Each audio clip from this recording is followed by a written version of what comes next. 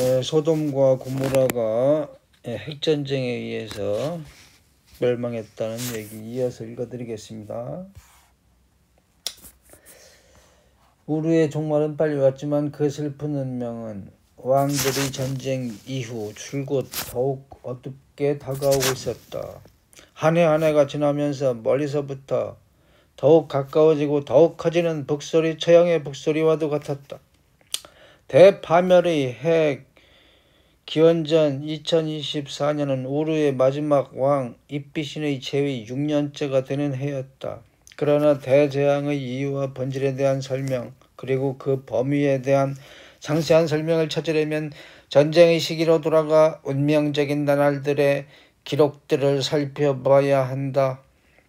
임무에 실패하고 카데시 바르네아와 다마스쿠스 부근에서 잇따라 아브라함에게 굴욕을 당한 침략군 왕들은 곧 권저에서 물러났다. 우르에서는 아마르신 대신 그의 형제 슈신이 왕이 되었다. 슈신이 왕위에 올랐을 때 때는 거대 동맹체가 붕괴되었고 우르의 옛 동맹국들이 무너져가는 제국을 갉아먹어가고 있었다. 난나르와 이난나 역시 왕들의 전쟁으로 불신을 당하기는 했지만 슈신은 처음에는 그들을 믿었다. 슈신의 초기 색임끌들은 왕권을 그에게 부여한 것은 난나르였다고 말한다. 그는 이난나가 사랑하는 자였고 이난나는 직접 슈신을 난나르에게 데려갔다. 그림 103 슈신은 놀라운 능력을 지닌 신의 맏딸 거룩한 이난나께서 신 SIN이라는 그런 아누나키 신도 있었어요. 공교롭게도 귀신, 신 할 때 그거 발음이 똑같지. 자신에게 복종하지 않는 적국과 싸울 때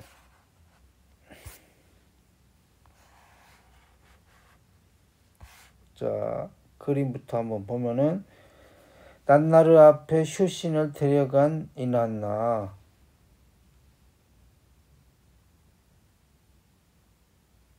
허호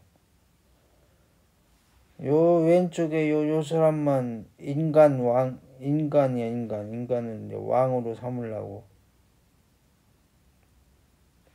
얘를 왜 사랑하게 됐지 슈신을?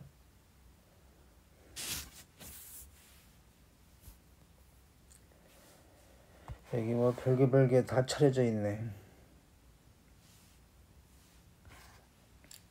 자, 쓸 무기들을 주셨다고 의수됐다. 그러나 이 모든 것은 제국을 하나로 묶기에는 충분치 않았고 최신은 그 높은 신들에게 구원을 요청했다.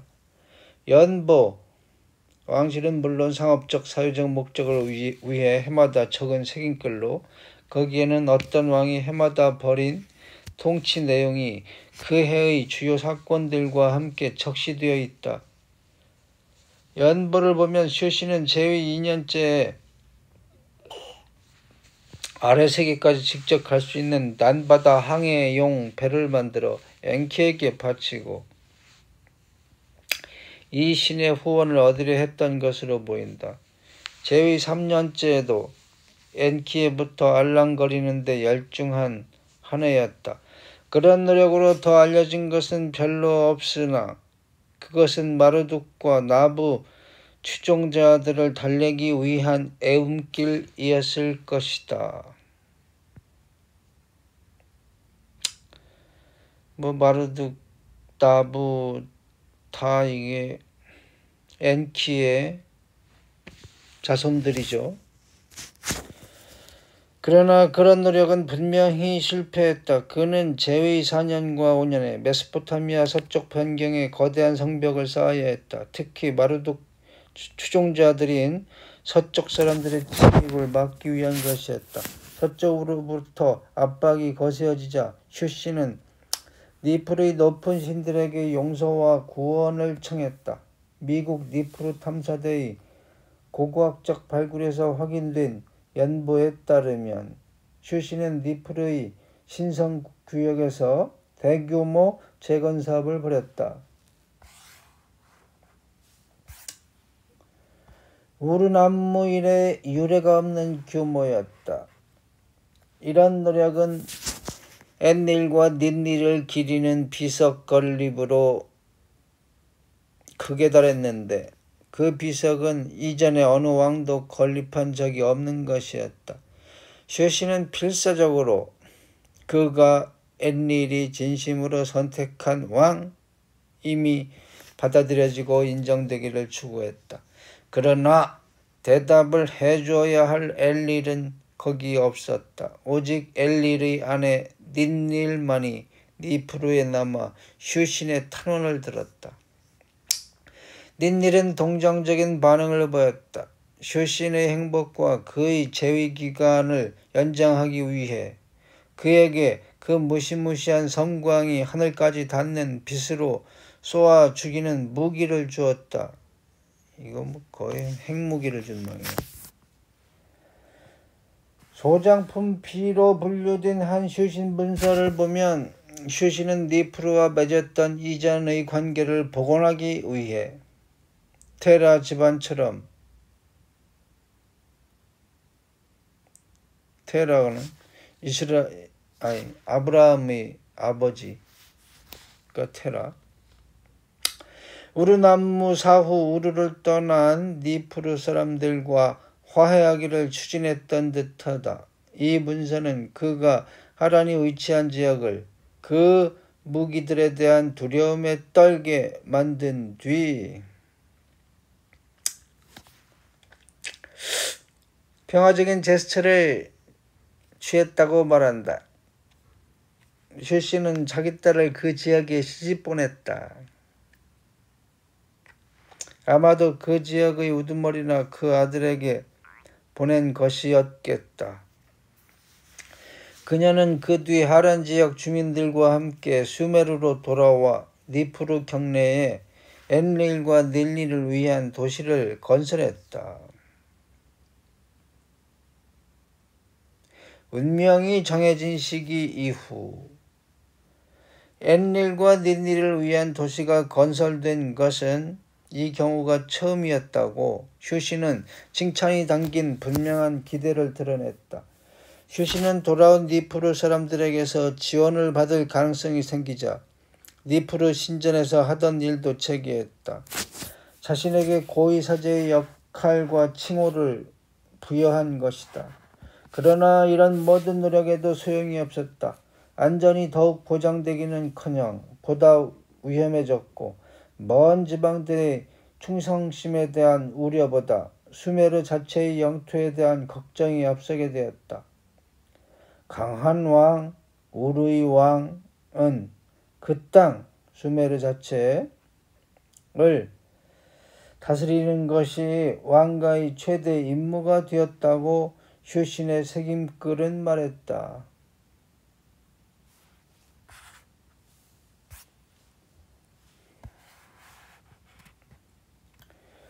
앤니를 다시 수메르로 돌아오게 하고 그의 보호 아래 피난처를 발견하기 위한 마지막 노력이 하나 있었다.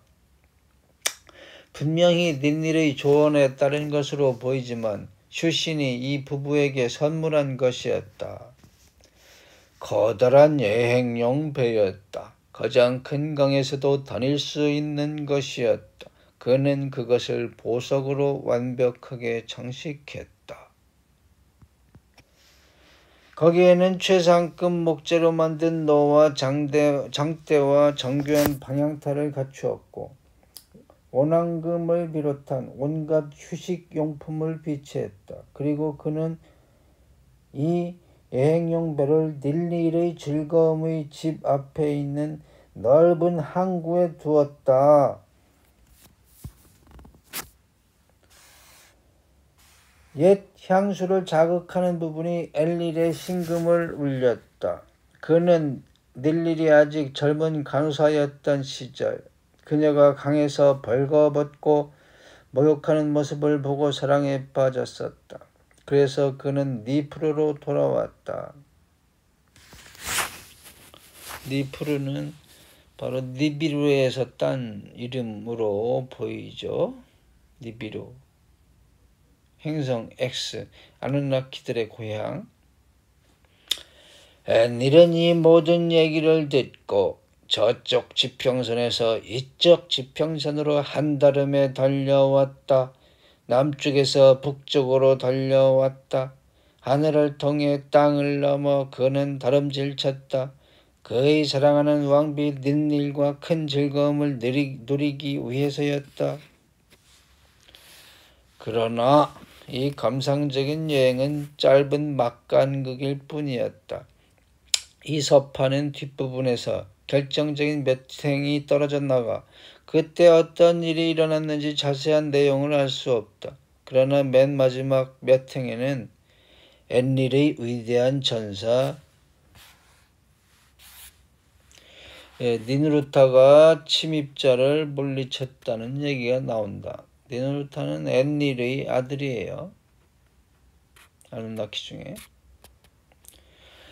분명히 배 조각상에서 아마도 앤닐과 닌닐을 저주하기 위한 것인 듯한 색임끌이, 사악한 색임끌이 발견된 직후다. 이 비겁한 짓에 대한 엘릴의 반응이 나와 있는 기록은 없다. 그러나 다른 모든 증거들을 보면 그가 다시 니프르를 떠났음을 시사하고 있다. 이번에는 분명히 닌일도 데리고 갔던 듯하다.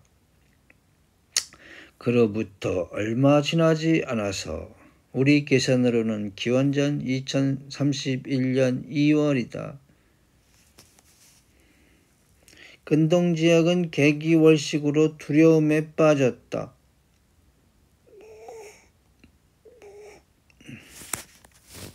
밤에 달이 완전히 가려져 까맣게 변했다.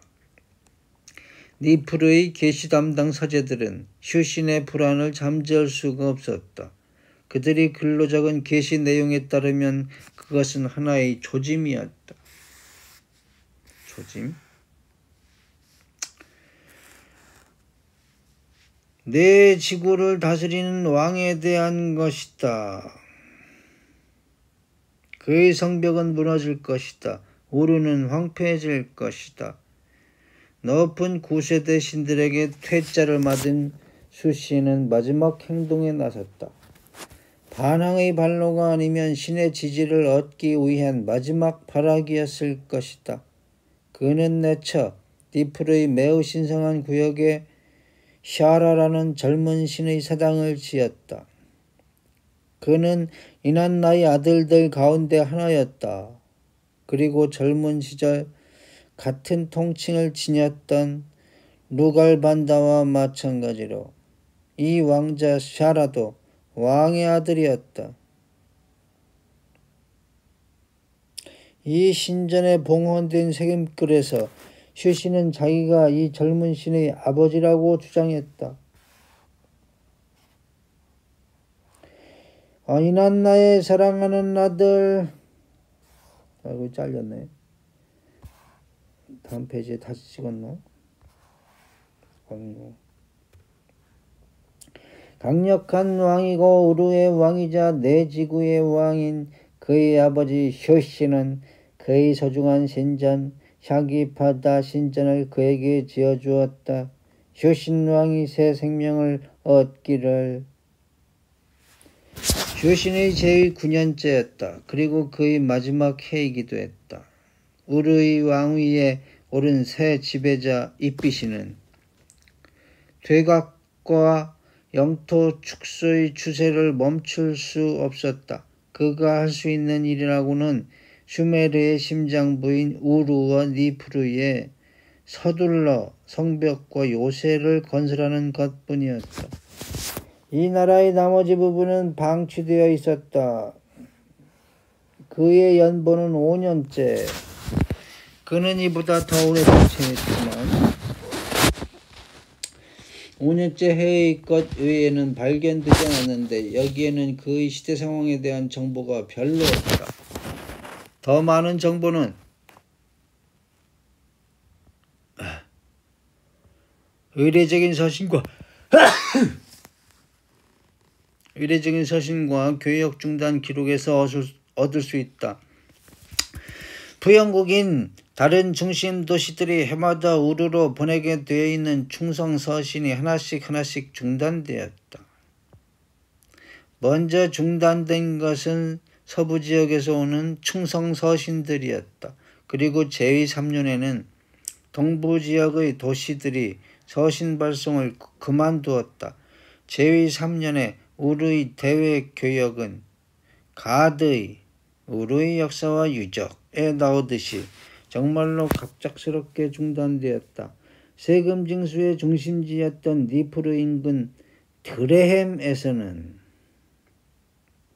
우르 제3왕조 동안에 상품 및 가축의 수송과 세금 징수 등이 기록되었고 그 기록은 수천 개의 온전한 점토판으로 발견된 바 있는데 이 꼼꼼한 회계장부 기장 역시 그 제3년에 갑자기 중단되었다. 이삐시는 높은 신들이 떠난 니프르를 무시하고 다시 난나르와 이난나를 믿기로 하면서 제2 2년에 스스로 우르크에 있는 이난나 신전의 고위 사제 고위 사제 자리에 앉았다. 그는 거듭 신들의 인도와 후원을 요청했다. 그러나 그가 들은 것은 파괴와 파멸에 대한 계시뿐이었다. 제2사년에 그는 이런 이야기를 들었다. 서방의 자손이 일어날 것이다. 이것이 이비신에 대한 예언이다. 우르는 심판받을 것이다. 제2 5년에 이비신은 우르에 있는 이난나 사당의 고위 사제가 됨으로써 더 큰 힘을 얻고자 했다. 그러나 이 일 역시 도움이 되지 않았다. 그 해에 슈메르 내부의 다른 도시들이 충성의 서신 보내기를 중단했다. 그 해는 또한 이 도시들이 우르의 남나라 신전에 줄곧 보내오던 희생동물을 마지막으로 보낸 해였다. 우르의 중앙 권력과 그 신들 그리고 거대한 지구라트 신전은 그로부터 잊혀버렸다. 제2 6년째가 시작되면서 파괴에 대한 예언은 더욱 긴급하고 더욱 구체적인 것으로 변해갔다. 한 예언은 이렇게 말했다. 여섯 번째 해가 되면 우르 주민들은 함정에 빠질 것이다. 다른 예언은 이런 때에 예언된 대재앙이 닥칠 것이라고 말했다. 그때 두 번째로 자신이 신의 지정을 받은 것처럼 스스로 지상권자라고 하는 자가 서쪽에서 올 것이다.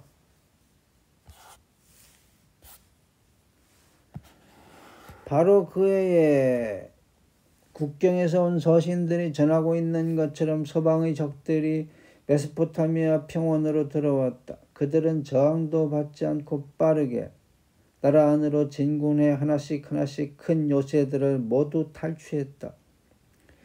이빛신의 수중에 남은 것이라고는 우르와 니프루의 고립된 땅덩어리뿐이었다. 그러나 그 여섯 운명의 여섯 번째 해가 가기도 전에 우루왕 이빛신을 기리는 생임글들이 니프루에서도 갑자기 좌치를 감췄다. 우루와 그 신들의 적, 곧 스스로 지상권자라고 하는 자가 수메르의 심장부에 도달했다. 예언에 나와 있는 대로 마루득이 두 번째로 바빌론으로 돌아온 것이다. 아, 마루득이었구나. 아브라함이 하란을 떠난 이래 슐기가 왕좌에서 물러난 이래 마루득의 히타이트 추방이 시작된 이래 24년에 걸친 운명의 나날들은 모두 그 파멸의 해 2024년으로 집중되고 있다. 별개지만 서로 연결된 구약의 아브라함 이야기와 우르 및 그 마지막 세 왕들의 이야기를 추적하면서 이제 마르둑의 발자취를 따라가 보자. 마르둑의 자서전이 새겨진 서판. 우리는 이미 그 일부를 인용한 바 있다. 서판은 그가 24년 동안 하티 땅에 체류하다가 돌아온 사실을 계속 서술하고 있다. 마르둑은 엔키의 아들이죠. 아티 땅에서 나는 계시를 물었소. 내 옥자와 내 왕권에 대해서 말이요. 나는 언제까지 있어야 하는가를 물었소. 나는 거기서 24년 동안 둥지를 틀고 있었소. 그리고 24년째가 되면서 마르둑은 희망적인 예언을 들었다.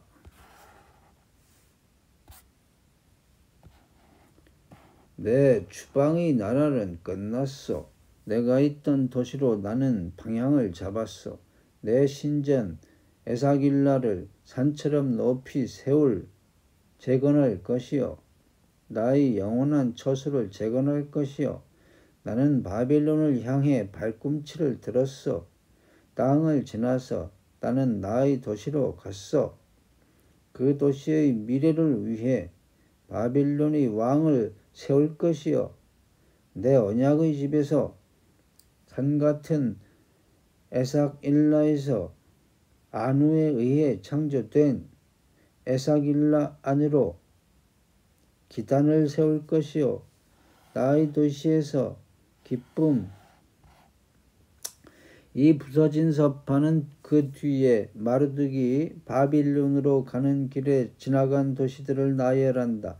반독할 수 있는 몇몇 도시 이름들을 보면 마르둑이 소아시아에서 메소포타미아로 간 이동 경로가 처음에는 남쪽에 있는 도시 하마, 곧 구약의 하마트, 하맛로 갔다가 다시 동쪽으로 마리를 통과하고 있다. 480쪽 지도 참조. 예언되었던 대로 그는 정말로 서쪽에서 메소포타미아로 왔다. 서방의 적 아모리인의 지지자들과 함께였다. 그의 희망은 그 땅의 평화와 번영을 가져오는 것이었다고 마르둑은 이어 말한다.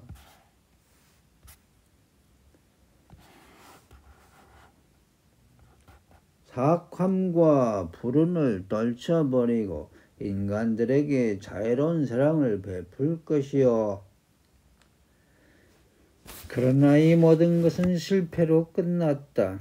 상대편 신 하나가 그 도시 바빌론을 향해 분노를 표출한 것이다.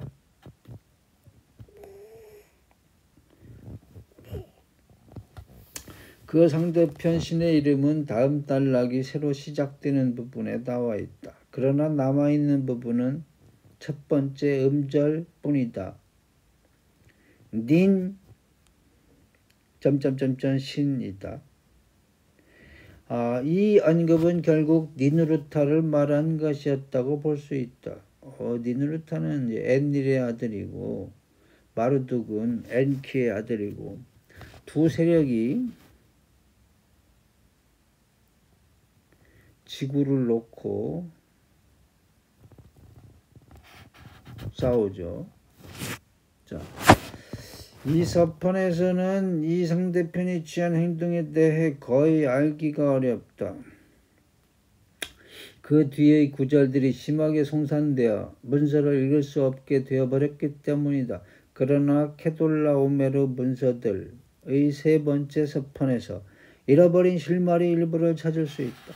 수수께끼 같은 구석은 조금 있지만 그것은 동란의 전체적인 윤곽을 그리고 있다.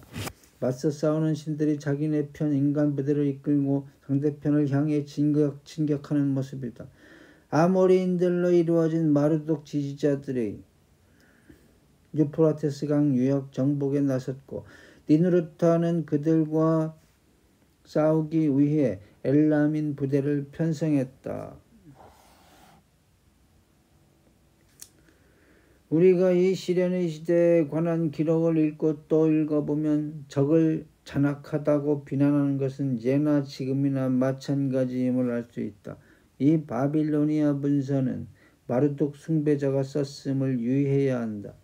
샤마시와 유시타르의 사당을 포함한 신전을 모독한 것이 오직 엘라민 부대의 책임이라고 말한다. 다 엘람 놈들이 나쁜 놈들이다 이거지. 하긴 뭐 무조건 자기의 적은 다 악마 같은 놈들이지. 이 바빌로니아 연대기는 더 나아가 니누르타가 마르둑 추종자들이 니프로에 있는 엘릴의 지성소를 모독했다고 잘못 비난해 엔닐로 하여금 마르둑과 그 아들 나부의 반대편에 서게 만들었다고까지 말한다.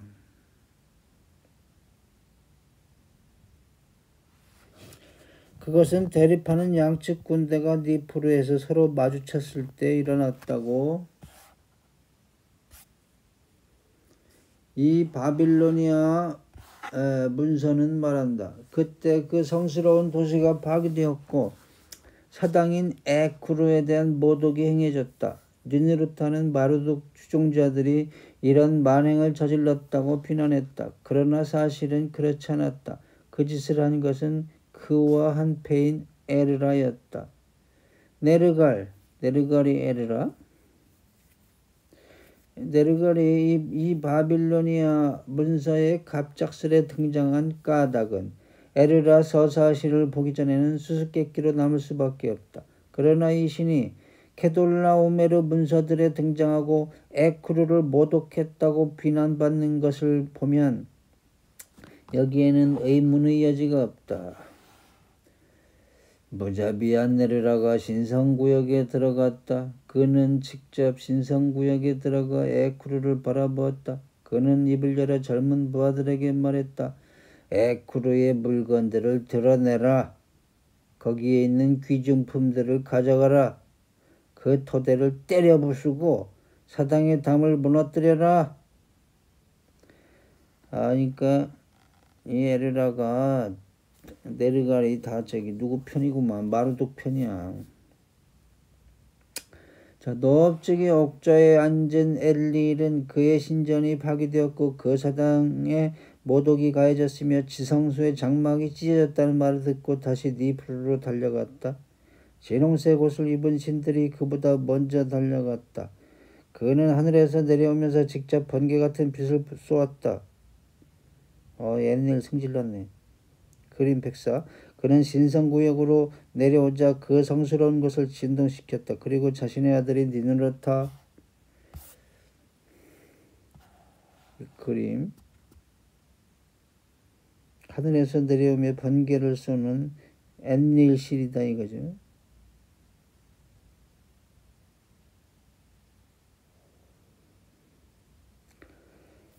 왕자에게 직접 명령을 내려 누가 성스러운 것을 모독했는지 색출하도록 했다.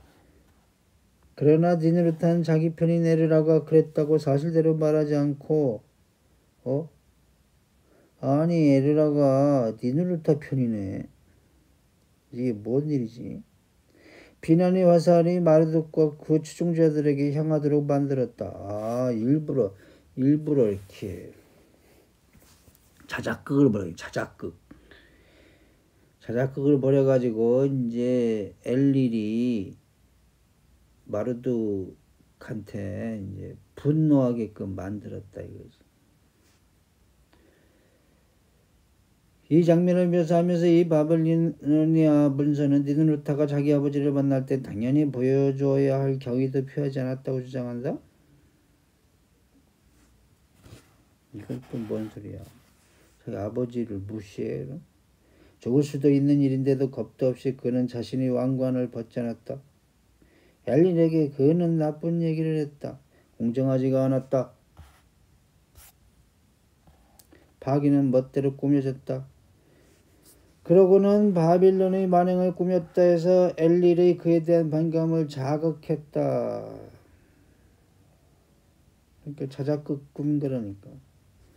바르둑과 바빌론에 대한 만행과 함께 나부와 보르시퍼에 있는 그의 신전 에지다에 대한 공격도 획책되었다. 그러나 나부는 겨우 서쪽으로 도망쳐 지중해 부근에 있는 그에게 충성하는 도시들로 갔다. 에지다에서 나부는 자기 편 도시들을 집결시키기 위해 발길을 내디뎠다. 그는 큰 바다 쪽으로 진로를 잡았다. 여기서 이 바빌로니아 문서에는 소돔과 고모라 파기에 관한 구약 이야기와, 이야기와 그대로 일치하는 구절들이 나온다. 이 마르둑의 아들 아들이 해안 땅에 있을 때 재앙의 바람을 일으킨 남자 에르라가 열로 평원 땅을 태워버렸다. 열로 평원 땅을 태워버렸다. 핵, 핵, 핵미사일 쏴가지고 다 태워버렸다. 이것은 참으로 하늘에서 쏟아진 유황과 불이 그 도시들과 평원 전체를 파괴했다는 구약의 묘사와 공통된 자료에서 나왔음이 틀림없는 구절인 것이다. 구약 여기서 나왔다 이겁니다.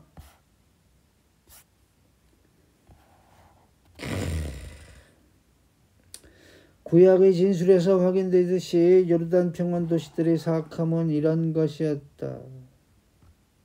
그들은 하느님의 언약을 버리고 다른 신들을 따라가 섬겼다.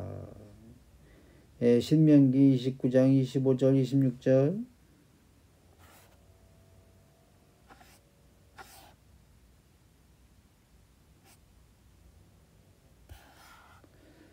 이 바빌로니아 분세를 통해 알 수 있듯이 그들에 대한 아우성, 비난은 대립한 신들 사이의 마지막 충돌에서 마르둑과 나부 쪽에 대한 그들의 반격이었다. 구약 본문은 이 정도에서 그치고 있지만 이 바빌로니아 분세는 또 다른 중요한 세부 사항을 추가한다. 가나안 도시들에 대한 공격은 마르둑 지지의 본거지를 파기하려 했을 뿐만 아니라 그곳에 피난처를 마련하려 한 나부를 죽이기 위한 것이기도 했다. 그러나 그 두 번째 목표는 이루지 못했다. 나부는 제때 빠져나가 지중해의 한 섬으로 갔기 때문이다. 나부가 자신들의 신은 아니었지만 그곳 사람들은 그를 받아들였다. 그는 큰 바다로 들어가 그의 자리가 아닌 옥좌에 앉았다. 본래의 거처인 에지다가 파괴되었기 때문이었다. 이 나부 동양 고전에도 마지막으로 뭐 나부의 나라가 나와요. 동양 고전에서도 아주 지극한 즐거움만 있는 뭐 무슨 환상 세계다 뭐 이런 식으로 나옵니다. 거기까지만 나와. 자, 일단 여기까지 하겠습니다.